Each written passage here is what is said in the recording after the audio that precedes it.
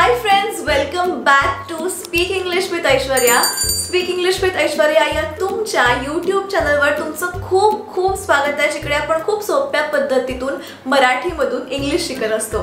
Friends आजचा आपला video आहे basics of English part three याच्या आधीचे दोन पार्ट्स तुम्ही नसतील पाहिले तर नक्की पहा. मी वर लिंक करेन. खाली पण डिस्क्रिप्शनमध्ये लिंक देईन.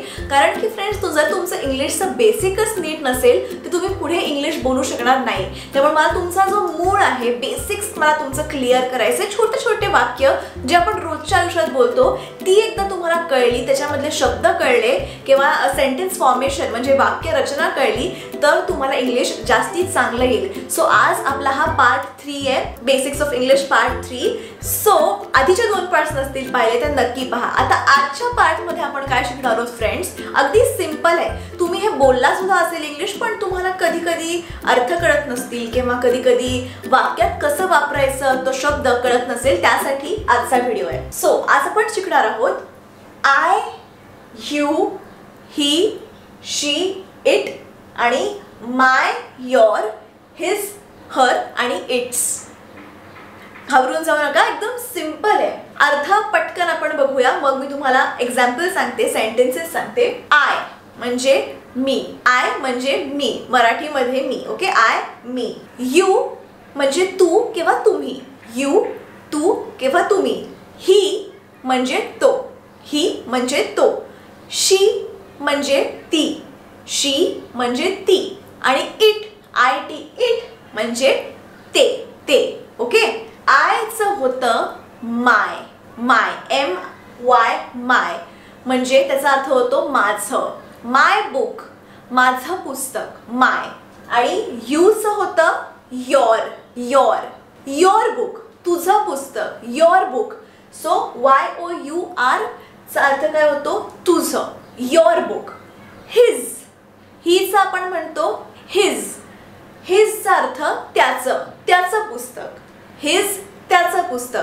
शीचं होतं म्हणजे ती शीचं होतं हर म्हणजे तिचं. तिचं पुस्तक हर बुक आणि इटचं होतं इट्स म्हणजे त्याचा किंवा तिचा. आता इट आपण युजली मुलगा किंवा मुलगी सोडून सगळ्यांसाठी आपण इट वापरतो. कुठली वस्तू असेल कुठलं फूल असेल किंवा कुठला प्राणी असेल आपण इट म्हणू शकतो. सो इटचं होतं इट्स एक्झाम्पल बघूया म्हणजे तुम्हाला जास्ती चांगलं कळेल. First example is I am Riya my name is Riya आता तुम्ही म्हणाल I am Riya my name is Riya अर्थ तर सेमच आहे. हो अर्थ सेम आहे पण आय एम रिया आयचा अर्थ मी तुम्हाला काय सांगितला? मी. मी रिया आहे. मी माझं नाव ऐश्वर्या आहे. मी जस्ट एक्झाम्पल ऐश्वर्या इथे पूर्णार नव्हतं नाव म्हणून मी शॉर्टमध्ये रिया लिहिलं आहे आय एम रिया मी रिया आहे. आणि माय नेम इज रिया म्हणजे माझं नाव रिया आहे. सो तुम्ही फरक लक्षात घ्या. आय एम रिया मी रिया आहे. माय नेम इज रिया माझं नाव रिया आहे. So I my okay I my त्यानंतर you are Neha this is your phone you are Neha तू नेहा आहेस. आणि हा तुझा फोन आहे. तुझा म्हणजे your so you are Neha and this is your phone आता फ्रेंड्स धिस कधी वापरायचं दॅट कधी वापरायचं दीज कधी वापरायचं दोज कधी वापरायचं ह्याच्यावर सुद्धा मी एक पूर्ण वेगळा व्हिडिओ केलेला आहे. तो व्हिडिओ तुम्हाला बघायचा असेल तर नक्की बघा. मी इथे आय बटन जे आहे तिथे मेन्शन करेन तिकडे क्लिक केल्यावर तुम्ही शिकू शकता. धिस दॅट दोज दीज कधी वापरायचा यांचा अर्थ काय होतो. पण तुम्हाला हे सेंटेन्स होपफुली कळलंय. यू आर नेहा किंवा यू आर शीतल. म्हणजे तू शीतल आहेस आणि हा तुझा फोन आहे. This is your phone your so you your तू तुझं. तू तुझं. You your next is he is a doctor तो डॉक्टर आहे. ही इज अ डॉक्टर तो डॉक्टर आहे. त्याचं नाव अर्णव आहे. त्याचं नाव अर्णव आहे. त्याचं आपण काय म्हणणार? इंग्लिशमध्ये his H I S his he is a doctor his name is Arnav so तो डॉक्टर आहे. त्याचं नाव अर्णव आहे. He is a doctor his name is Arnav okay next is she is a pilot her plane she is a pilot she ती ती कोण आहे? Pilot आहे. ओके म्हणजे ती विमान उडवते. शी इज अ पायलट आणि ते तिचं विमान आहे. तिचं. तिचं. That is her plane that is her plane she is a dancer ती एक डान्सर आहे आणि दॅट इज हर बॅग ती तिची बॅग आहे. हर बॅग तिची. शी हर तसंच it is a flower it is a flower म्हणजे ते एक फूल आहे. ते एक फूल आहे. आणि those are its petals those are its petals म्हणजे त्या फुलाच्या पाकळ्या आहेत. त्या फुलाच्या पाकळ्या आहेत. It it's it is a flower ते एक फूल आहे आणि त्या फुलाच्या पाकळ्या आहेत. Those are its petals so it is a flower those are its petals परत एकदा दोज दॅट धिस नसेल कळलं व्हिडिओ मी केलेला आहे नक्की बघा. सो तुम्हाला एक आयडिया आली असेल की आय म्हणजे मी. माय म्हणजे माझं. यू म्हणजे तू. योर म्हणजे तुझं. ही म्हणजे तो. हिज म्हणजे त्याचं. हर म्हणजे ती. सॉरी शी म्हणजे ती. हर म्हणजे तिचं.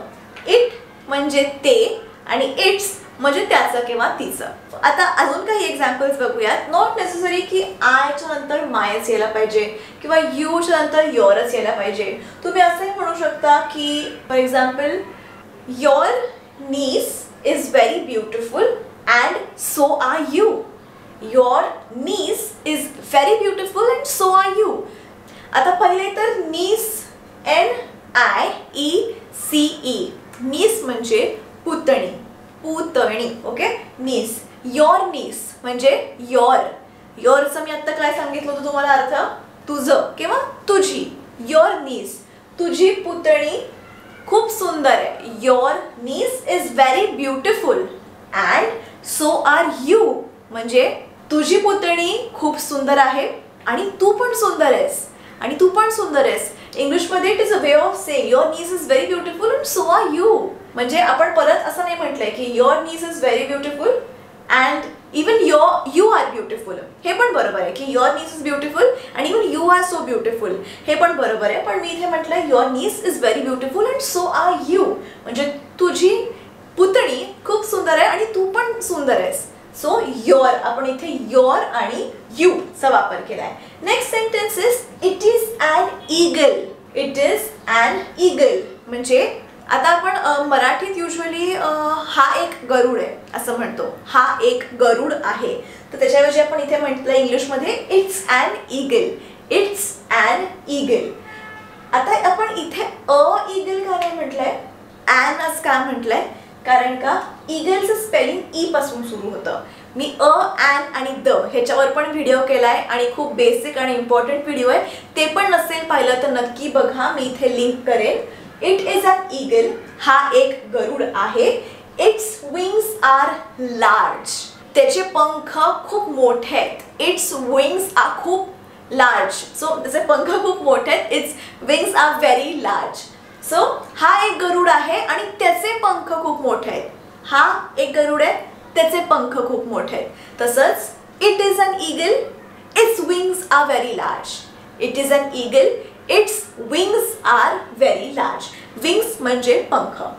Next that is my car that is my car ती माझी कार आहे. That is my car do you have your car do you have your car म्हणजे ती माझी गाडी आहे. तुझ्याकडे तुझी गाडी आहे का? So that is my car my म्हणजे माझी. आणि do you have your car म्हणजे तुझ्याकडे तुझी गाडी आहे का?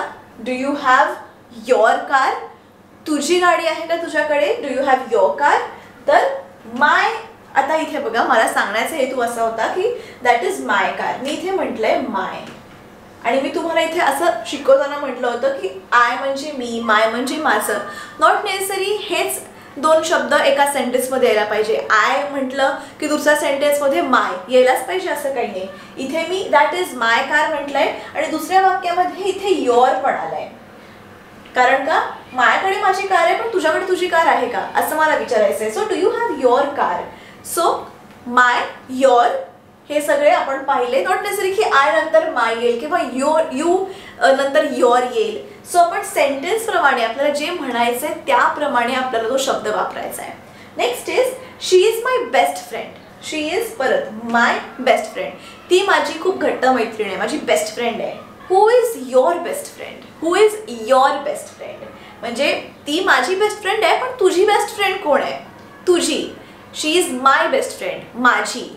तुझी बेस्ट फ्रेंड कोण आहे? Who is your best friend so friends मला कळलं आपण असं नाही विचारलंय की who is you best friend आपण काय विचारलंय? Who is your best friend कारण की यू म्हणजे तू किंवा तुम्ही आणि युअर म्हणजे तुझं. परत एकदा बघा आय म्हणजे मी माय म्हणजे माझं. यू म्हणजे तू योर म्हणजे तुझं. ही म्हणजे तो हिज म्हणजे त्याचं. शी म्हणजे ती हर म्हणजे तिचं. इट म्हणजे ते आणि इट्स म्हणजे त्याचा किंवा तिचा. ओके आय आय होप तुम्हाला कळलं असेल टॉपिक खूप सिंपल आहे. खूप छोटूसा टॉपिक आहे पण खूप गरजेचं आहे तुमचे डाऊट्स क्लिअर करण्यासाठी. मी थोडा वेळ साईडला होते तुम्ही स्क्रीनशॉट काढून घ्या. जस्ट इन केस तुम्हाला जर का हा चार्ट लिहून घ्यायचा असेल कुठे तुमच्या नोट्समध्ये नोट डाऊन करायचं असेल तर नक्की स्क्रीनशॉट करून नोट डाऊन करून घ्या. कारण हा तुम्हाला पुढे आयुष्यात लागणार आहे. पुढे तुम्हाला खूप सारा इंग्लिश बोलायचं आहे. तुम्ही ऑलरेडी बोलत असालच. दॅट्स व्हेरी गुड पण हे बेसिक्स ऑफ इंग्लिश मला तुम्हाला एक क्लिअर करायचे होते.